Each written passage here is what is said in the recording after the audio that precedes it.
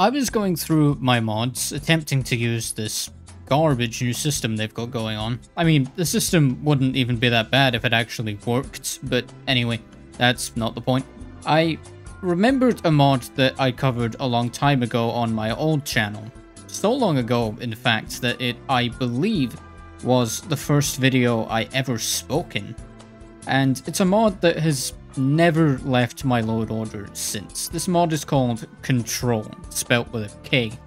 And if you're a controller player, you need this thing, especially if you have any difficulties playing due to medical issues or anything like that.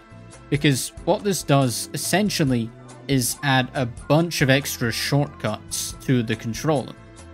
You can use auto run now, for example.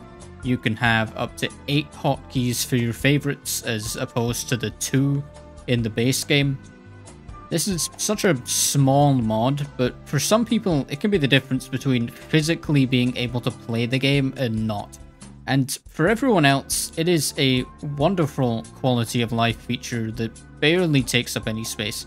There's really no reason to not download this mod. But that's all from me, just a quick one today. But I hope you all enjoyed, subscribe if you haven't already, and I hope to see you next time.